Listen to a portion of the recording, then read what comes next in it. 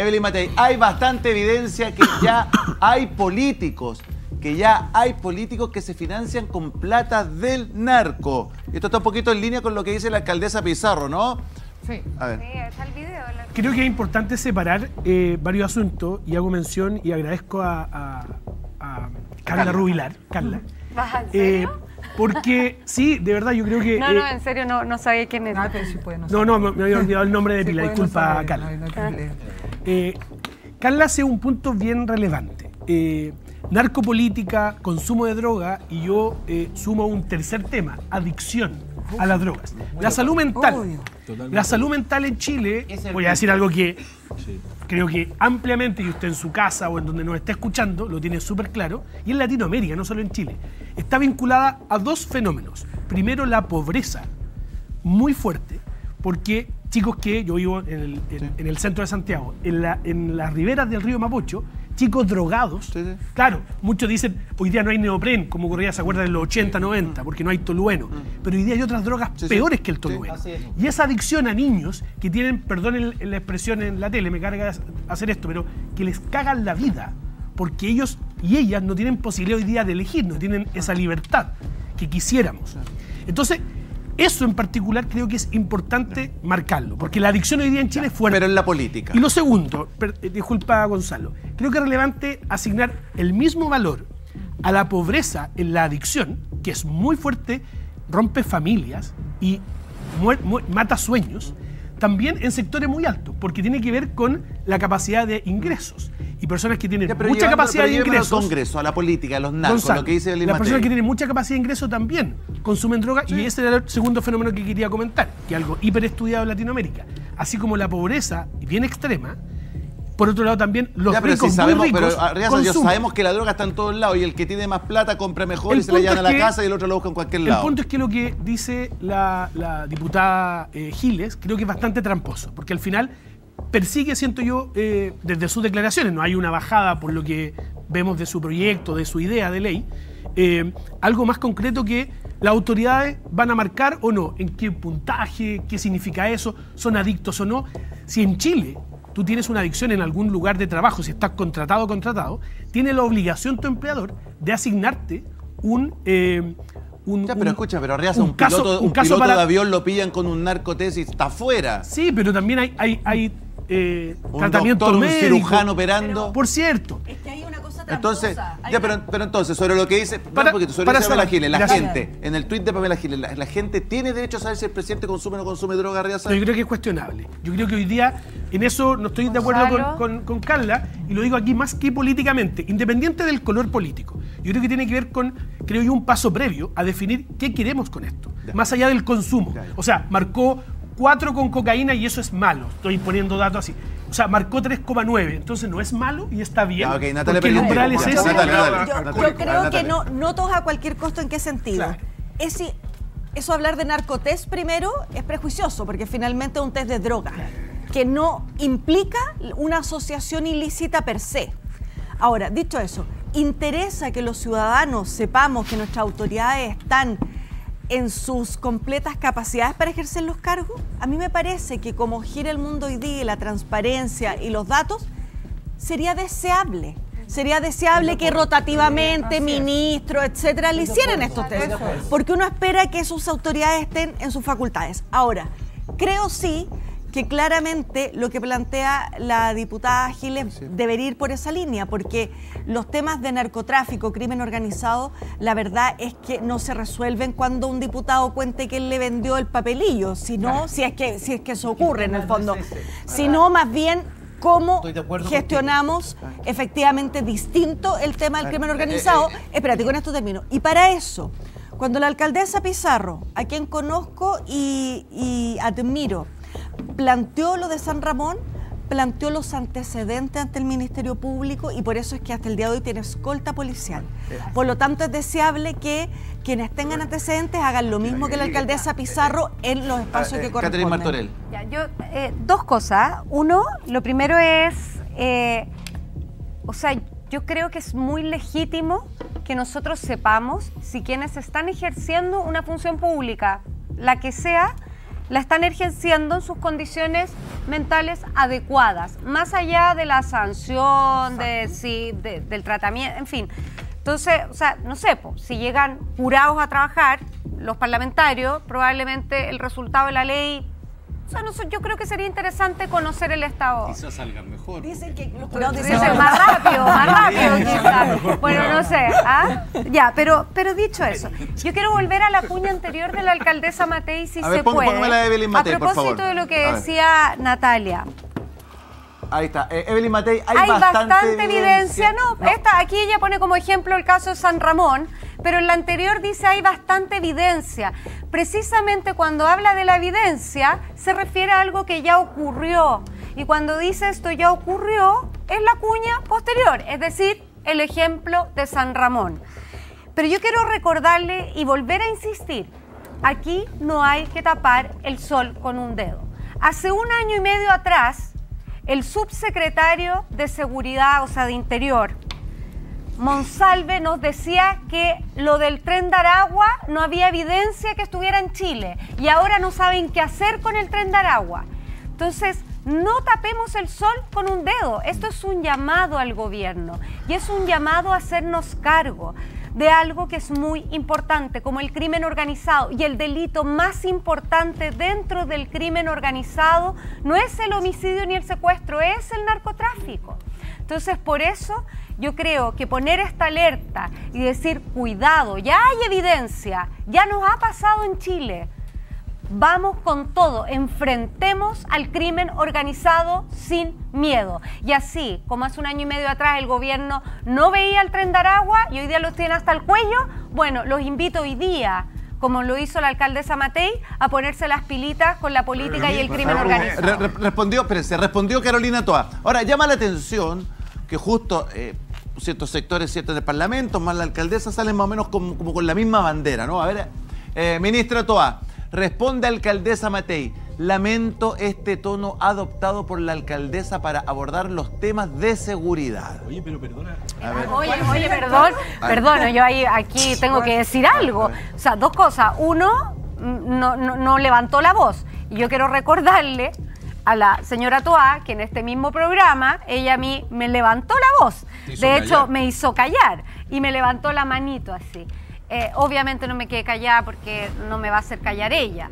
Pero eh, me parece que si se trata de tono, o sea, la autocrítica es bastante sana y sabia. Y por lo demás, la alcaldesa Matei lo dijo muy tranquila. Puede que no le guste lo que dijo, pero eso no tiene nada que ver con el tono. Y yo, perdón, y solo para cerrar, invito a la ministra Toá a en vez de buscar si le gusta el tono alto o el tono bajo, hacerse cargo de la delincuencia, de los homicidios, porque tenemos récord histórico en homicidios, tenemos récord histórico en secuestro. Así que, ministra Toa, más que el tono alto, el tono bajo, hágase cargo del crimen organizado en No, Chile. yo- Gutiérrez, no, no, si lo único que digo nomás es que no confundamos lo que dice Pamela Giles con lo que dice la Es cierto, ¿Cuál es la ministra. diferencia? Son dos cosas distintas. porque una Es está apuntando a un consumo y que, mira, yo creo que tenemos que hacernos cargo de, nuestra institucionalidad. Nuestra institucionalidad garantiza el derecho al honor, garantiza el derecho a la intimidad. Sí. Entonces, el día de mañana, si quiere hacer esto, tiene que hacer una reforma constitucional donde se diga en, una- en un inciso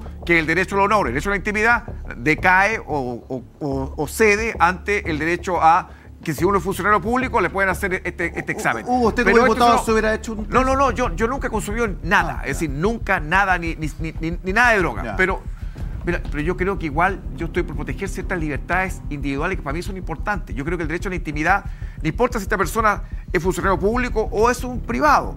Yo creo que uno si Pero una autoridad también. No, pero, en el ejercicio de la función, Hugo, te sí, no, lo- lo pregunto, que mira, en el ejercicio no, si de yo, la mira, si función yo lo único que pública digo yo es que si quieren hacer algo como eso, como lo que plantea ella, hagan una- hágalo, hágalo en serio. Hagan una reforma constitucional, establezcan un inciso y que digan que en caso de que sean funcionarios públicos, en ese caso se podrán hacer ciertos test porque hay que habiliten. Pero así como está nuestro ordenamiento jurídico, a mi entender, humildemente Tiene lo digo, razón, no se permite, ¿o ¿no? Hugo tiene razón. Yo, no, no, y segundo, y, y segundo yo, yo- yo, eh, te agradezco que me encuentre la razón, que me encuentre. Y lo segundo es que con respecto al tema de la, hacer de la alcaldesa Sí, Matei. vamos a hacerte por acá. No, mira, el caso de la alcaldesa Matei, ¿dónde está, la, ¿dónde está lo delicado? Que ella dice que hay bastante evidencia. Mira, si a mí lo que me preocupa es, como bien dijeron, ella lo dijo en un foro internacional. ¿ah? En un foro donde estaban presi- expresidentes de la sí. República.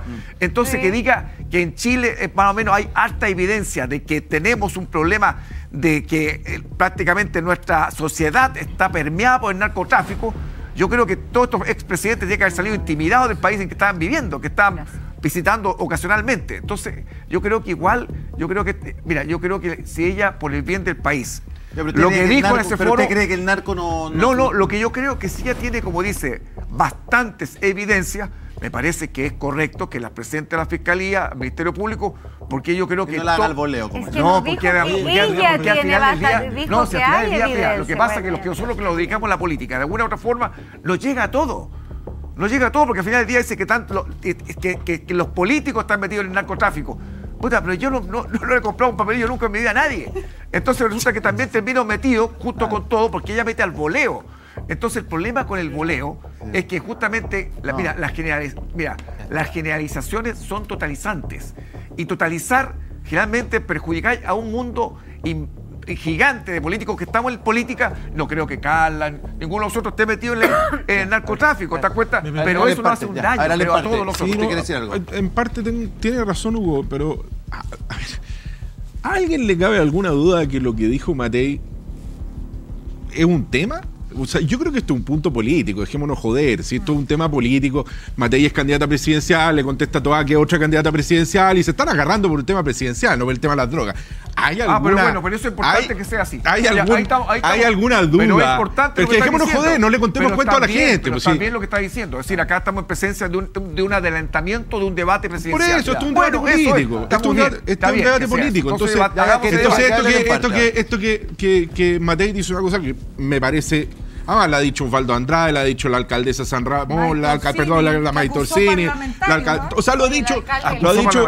O sea, lo dijo Francisco Javier. Cuadra en el 93. O sea, esto Y es puro humo. ¿y dónde terminamos, o sea, no, o sea, no por va a pasar por ley de seguridad interior del No va a Estado. pasar absolutamente Pero lo que quiero decir. parte, no va a pasar nada. Es que este es un punto político. A Lo que, al- vamos al fondo. Vamos al fondo de este punto. Hoy día, en el mundo, y ahí discrepo con Hugo en un punto, diciendo que tiene que haber un- una limitación a la- al, a la- al derecho a la honra y, y la privacidad. Hoy día en el mundo se entiende, y así lo han entendido tribunales internacionales por lo demás, que cuando uno es una autoridad pública, está sometido a un mayor nivel de escrutinio. Por eso yo tengo que hacer una declaración de, de patrimonio de intereses, por eso yo tengo que hacer una serie Sí. de y establecer una serie de documentos. Yo no tendría, si fuera senador o diputado, yo publicaría en mi página web mi, mi examen de, de- mi examen de, de droga. No tengo ningún problema. O sea, lo publicaría cada cuatro meses, cada cinco meses, no sé cuánto, cuánto, porque además creo que son recaros. Pero lo- no tengo ningún problema que nunca he consumido nada. Pero lo que sí creo, que donde sí tiene que haber un punto, que Pamela Giles no lo hace, y que donde sí tenemos también una penetración que puede ser muy compleja, incluso más compleja que la política, es en los jueces. Si vamos a hacer control de droga, hagámosla con los jueces, desde la Corte Suprema para abajo. Jueces sí. Yo digo que hay Sí. evidencia. Y no hagámosla, y hagámosla con los fiscales también. Y hagámosla con los fiscales, porque lo que ellos hacen es muchísimo más delicado desde el punto de vista de, de- de- Ahora, el punto de fondo aquí, un punto de fondo que dijo Juan Pablo. También, ¿para qué queremos esto? ¿Queremos esto para eh, eh, escarmentar a alguien? ¿Para, ¿Para hacer de esa persona... Aquí es un tema de salud pública. Eso o sea, esa persona está enferma, tiene una adicción y lo que haría cualquier empleador en cualquier parte, incluso en la administración central del Estado existe, es que te tienen que hacer, te tienen que ayudar en un proceso de rehabilitación. Si aquí no, no- o sea, es un va- tema mucho más delicado. Ese es el punto, ¿Ah? pues. Ahora, perdona, No, no, que no, tenemos derecho punto- a saber, punto- que punto- tenemos derecho no, a saber no, el no, no. estado en que, nuestras autoridades legislan o, gobiernan, cosa. Es la absolutamente. soberanía popular la que tú ves afectada. Si a mí lo que me preocupa en los cargos públicos, sobre todo lo de elección popular, es que tú puedes afectar la elección popular, es decir, la soberanía popular, si tú eliges a alguien y tú dices, mira, por ejemplo, a- uno Ah, no, si lo escucha- por cierto. no, pero, pero tiene que haber los procedimientos legales, ¿te acuerdas? No, Porque al final del día tú afectas a una persona que la eligen por cuatro años como diputado de la República. Absolutamente. Ah, bueno, estamos de No, acuerdo. estoy de acuerdo. Estamos de acuerdo. Es que en eso estoy de acuerdo contigo. Eh, eh, Carla, Carla después contigo, Aldo. Sí, es que sabes lo que, lo que a, mí me, a mí me preocupa, yo me hago cargo de las palabras de Hugo respecto del foro internacional. Y el foro internacional era el momento propicio por una razón evidente. Venían expresidentes de países que han vivido el flagelo del crimen organizado y del narcotráfico y que nos vinieron a alertar al respecto de que el vínculo entre la política y el narcotráfico es muy poderoso. Nos vinieron a decir que cuando se cruzaba esa línea, el camino era muy tortuoso. Y en ese contexto, lo que dice la alcaldesa Matei, perdónenme, es la verdad del de una catedral. ¿Tenemos antecedentes en este país de vínculo del narcotráfico con la política? Sí, tenemos. Es un problema y al cual no podemos negar. Yo siento que hoy día hay un negacionismo buscando un fin electoral de pegarle a la alcaldesa Matei, cuando en realidad lo que debería haber pasado por parte del gobierno es decir, sí, tenemos este riesgo, este riesgo es grave, vamos a tomar estas acciones porque miren, ¿tenemos fiscales amenazados por el narcotráfico? Sí. ¿Tenemos alcaldes y alcaldesas amenazadas por el narcotráfico? Sí. ¿Tenemos carabineros no solamente amenazados, sino que lamentablemente han caído en actos de corrupción por el narcotráfico? Sí. Pero, Entonces, oye, Espérate, Carla, perdón. yo te, espérate, aguanta un poquito. No, no. Carla, yo, te, yo- yo te doy el punto, pero cuando la alcaldesa dice eh, hay bastante evidencia de que hay políticos que se financian con plata del narco, ¿cuál es la propuesta entonces para saber quiénes políticos son financiados por el narco? Porque aquí la estáis tirando a la banda. No, lo que dijo es, la, es la- lo que hay, po. Habían militantes con vínculos del narcotráfico en una municipalidad de la región estamos- esa la metropolitana. Sí, yo Sí, creo que había. hay que dar el contexto, yo creo que hay que dar un poco más de contexto. Esto se da en un foro, ¿ya? Donde se hacen preguntas y se responden las Ah, preguntas, ¿ya? Ese fue el contexto. Ahora, es evidente que tenemos muchas cosas en las que podemos avanzar para eliminar esto. Y desde eso, desde esa línea, por ejemplo, todo lo que sea generar controles, ¿Por qué no se le levanta el secreto bancario a los, a los parlamentarios? Feliz. Yo no tengo Sería ningún lo mejor, en vez de problema. estar. ¿Para qué, para qué, para qué le sacar- tiramos así y Gonzalo, hablamos secreto mira, En vez de bancario? sacarle Gonzalo, sangre, en vez de sacarle sangre, saquémosle el secreto Gonzalo, bancario. Yo te digo el tiro, feliz levantar el No, secreto tampoco, bancario. no tengo ningún problema. Pero, perdónenme, el narco no anda depositando la plata en su cuenta Sí lo corriente. hace, el no, la- no, no, es sí, verdad. sí, el No lavado es de verdad. activos se hace a lavado través del secreto bancario, sí. Hace lavado a No, través de se hace. Hace Sí, lavado a través de negocios que no, entra hace nadie, hace lavado a través de restaurantes Oye, ¿cuál oye, una, una hablando, Hugo? consulta, oye, Oye, oye, no, oye, no, no, ¿sabes qué? Muchachos, que están hablando todos, están hablando todos al mismo tiempo. A ver, a ver. No, no, no, no. Hugo, tenés que volver a las poblaciones. Ya, muchachos, veníamos, veníamos bien. un eh. Catherine y Hugo, Catherine y Hugo. Muy corto. ¿Dónde Catherine estaba Hugo. este Hugo con este convencimiento, con esta mirada de perseguir el patrimonio de los traficantes? ¿Dónde No, estaba no. cuando nos votó en contra la ley? Yo ¿Dónde estaba cuando era perseguir los en bienes, perseguir... no- Eso es era, que- y lo lo que votaste hay en contra. lo que hay que ¿Usted votar. votó o no votó en contra? Sí, lo votó en No, contra. si estamos votando, discutiendo otra ley. No, la no, ley- no la ley con respecto Yo voy a explicar, Pero yo voy a contar mira, la historia, mira, pero yo quiero Hugo, déjame de ahí, hablando, no me no Es que no Hablando quiere de la- reconocer. de la droga, no, no, a ver, No hablemos- quiere reconocer, ese es su problema. A ver, a ver, muteame, un segundito, muteame, muteame un segundito. Están todos muteados, muchachos. Estamos absolutamente en vivo y en directo, esto es sin filtro, están todos muteados, chicos, de verdad. Necesito que me vayan ayudando porque la gente no lo está escuchando. Katy, pregúntele a Hugo y Hugo responde. Ya. Ya.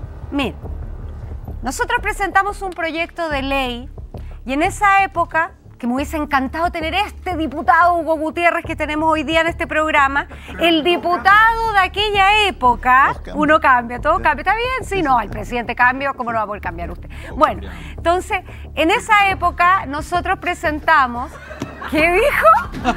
¿Qué dijo? Oye, pero estoy viendo a los mandriles y están todos contentos con el corte de pelo. Fíjate que hace que ¿En buena serio? onda. El sí. gobernante. Ah, oye, oye, no me bueno. recomienda Parece que cortarme ya, ya, la no, barba. Tenés que ya. hacerte algo en la barba, Ya, dicen sí. No nos desviemos.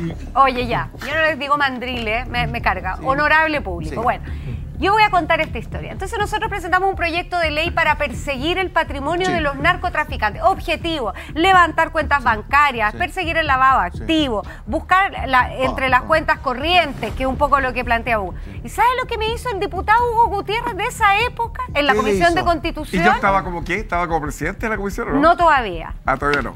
O no, fue después de que Ya, ¿y usted qué haya hizo el diputado Bueno, Me Gutiérrez en votó en contra la ley, en contra. Y hoy Oye, día, y una- hoy día me dice, hay que levantar la cuenta. Una- y lo peor de todo No, es que no, yo le digo, sí, Una Sí, consulta. levantemos cuentas corrientes, No, no, pero- tengo problema. pero díselo pero a ¿por lo- qué pero- votó en pero contra? díselo a los no, no, pero es que dime no, no, primero no, por no, qué no. votaste en No, contra. díselo tú. No, Hugo, conteste, conteste, no. Hugo. Es que no estábamos hablando ahí de secreto bancario. Primero, ¿estamos hablando de secreto bancario en esa oportunidad? De secreto bancario. No, de no, no, no, no estábamos hablando de secreto bancario, de estábamos los hablando de bienes, otro. bienes inmuebles y no, bienes muebles. No estábamos hablando del secreto bancario, estábamos en el contexto de la ley Oiga, pero 20.000. escúcheme, la misma, reunión, dos versiones distintas. Pero, no, no, no, no, no. Hay un bar, Oye, no, no, deberíamos de ir a buscar esa votación para la Sí, próxima semana. oye, no, no, mira, si yo quiero que hablemos, mira, si yo quiero que hablemos en serio sobre la droga.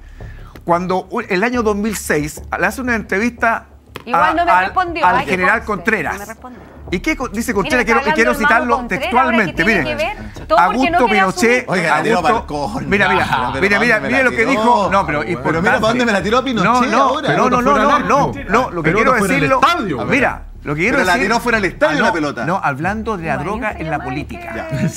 Augusto Oye, me Pinochet acordé, se me hizo Higuaín, ¿ah? mira, Un saludo para Uruguay. Hay un uruguayo por aquí Pinochet que me se hizo bien. multimillonario Uruguay. a través de ¿Se la fabricación y tráfico de cocaína. Augusto Pinochet. ¿Quién lo dijo? Contreras, el jefe de la DINA. Imagínate, en los tiempos de la.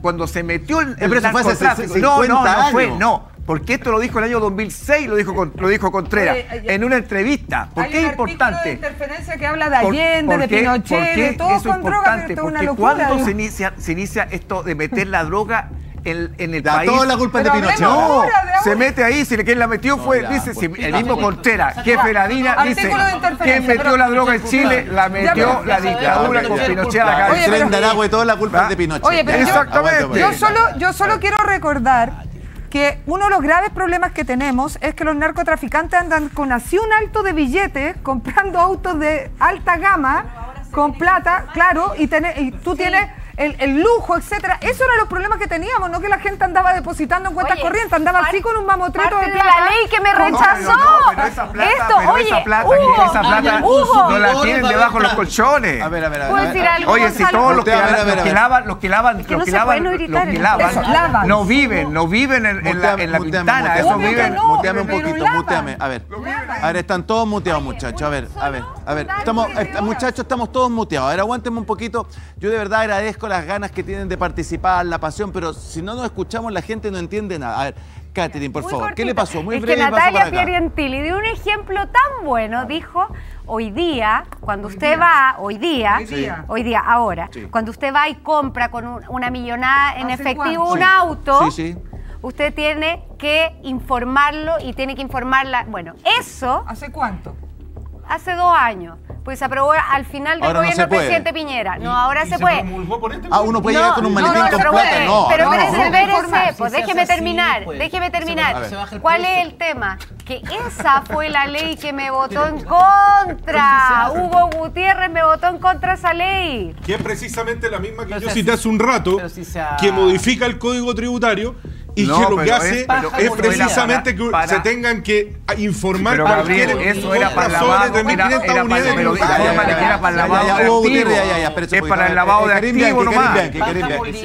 Era paja Se molilla, compran- el se compran autos, se compran autos de alta gama usados y se le pone otro precio y listo. Exacto, usted sí se hace Eso es, todos lo los que, días. eso es lo que hace. No, y se, monta, Oh, no, no, no, no, seamos serios, seamos serios. Si usted va a una concesionaria, si usted va a una concesionaria a comprarse un auto de alta gama, 100 mil dólares, la concesionaria no te va a bajar el precio, esa plata No. tiene que entrar.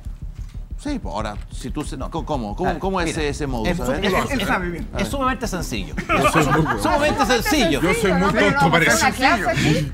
Vamos, vamos a, ir ¿dónde a una clase. Pero no lo hagan ustedes en su casa. No lo hagan en su casa. Por un No, módico precio yo podría hacer una... No, pero mira. Mira, mira Hugo. La plata no está en la cuenta corriente. Se hace una sociedad offshore en Panamá y las vírgenes, tú sabes dónde, se saca en dólares en un maletincito y se deposita allá. Primero. Por lo tanto, la plata no está en la cuenta corriente. Dos. Cuando vas a comprar un autito, ¿qué es lo que haces? ¿Te vas a comprar un auto nuevo? No. Vas a comprar un auto que tiene un año de antigüedad. Como se va Un cambiado la seminuevo. fecha, Un seminuevo, seminuevo. un seminuevo. Entonces le dices al concesionario, ¿cuánto es el auto? Mire señor, 70 millones de pesos. ¿Sabe qué más? Aquí están los 70, pero me hace el contrato por 35. Oiga, ¿y- ¿pero cómo justifico yo esta plata? Súper fácil, pues le dice. Es tan sencillo como tomar esta platita que usted tira acá y es la misma del offshore. Entonces la manda para afuera.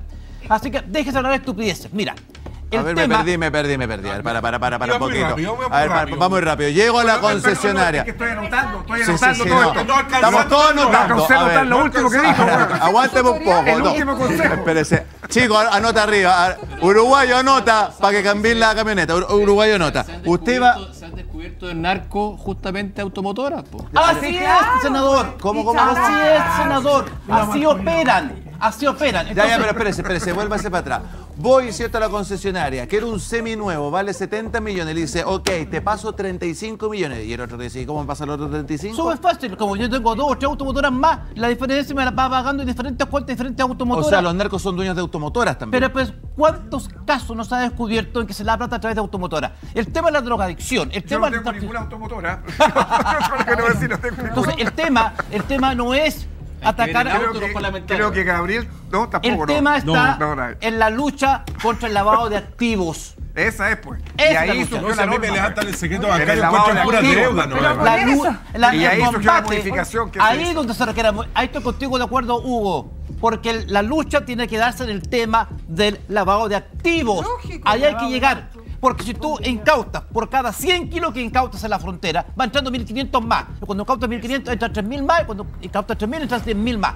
El tema no es el consumo, porque el consumidor es un enfermo. El tema es cómo se lava el activo. Y, por fa- y termino con esto muy breve. Por favor, este, a mi juicio, vo- voy a ser impopular, pero antes que un problema policial, que por cierto lo es, es un problema de salud pública. Mientras tengamos adictos, tendremos que le venden droga a los adictos. Por lo tanto, mientras no combatamos honestamente el problema, Y ahí hay que eliminar, mientras poco. menos adictos, menos vendedores de droga. Ese es el problema. Muchachos, tengo que ir al marketplace de Sin Filtro, ¿no? Ah, me adelanté.